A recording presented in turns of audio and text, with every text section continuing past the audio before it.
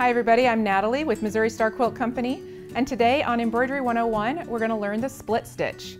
This is a great basic stitch for outlining things. It's similar to your um, stem stitch but instead of coming up next to your stitch you're going to come right through the middle of it.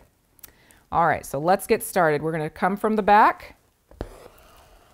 We'll make our initial stitch to get started. Then we're going to go forward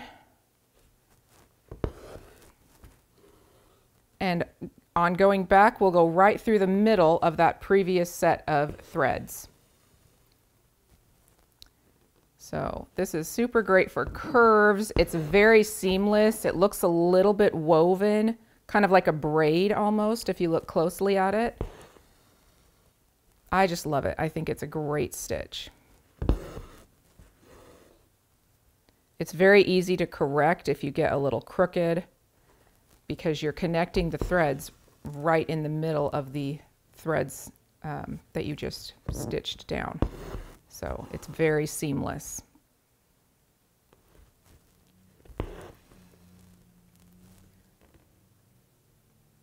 All right. So let's head over to the hoop and I'll show you this stitch a little bit closer. All right, so we are just going to continue coming up from the back and sticking our needle right in the middle of our threads to create to split them and create this split stem stitch. Now I never worry too much, whoops, about whether I'm exactly in between uh, or have the exact number of threads on either side. You're just kind of jamming it in there and it looks great.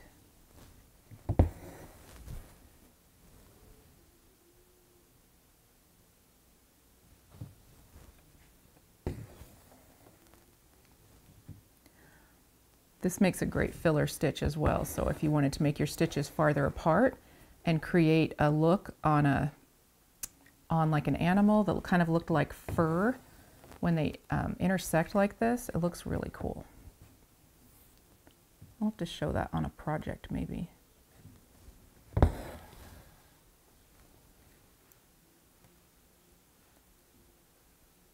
All right, so and to end that, you're just going to put a knot in it. If you want your, your last stitch to, um, to have that split in it, you're going to want to come back up right near the edge and then create that last split.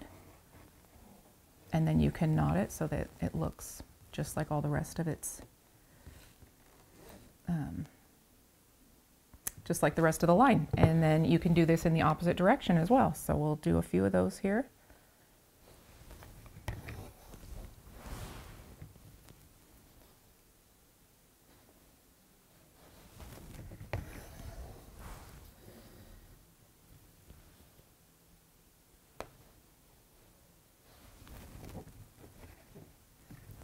Slippery.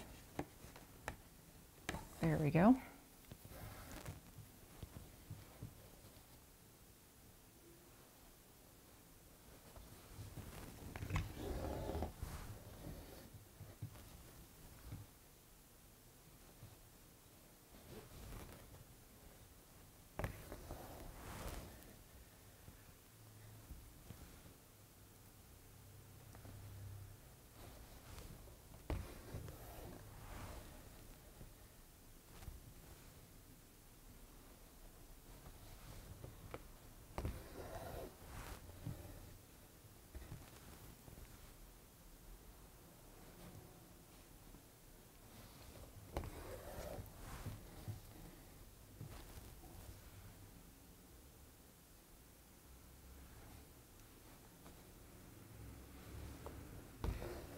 And that's it. It's pretty simple to do.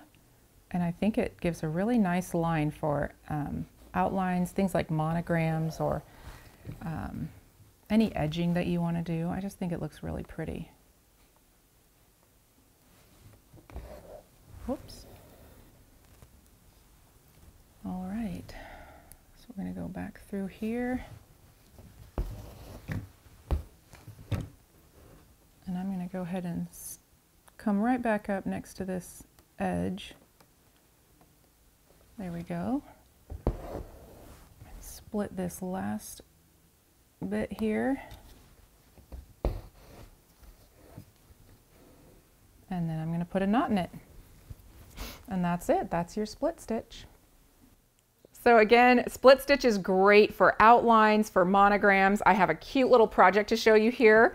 Rachel made this one with her R and it's so cute. We have these downloadable letters on our landing page so you can just print out whichever letter you want and monogram away. It's super fun. I love them. So I hope you enjoyed this tutorial on the split stitch from Missouri Star Quilt Company.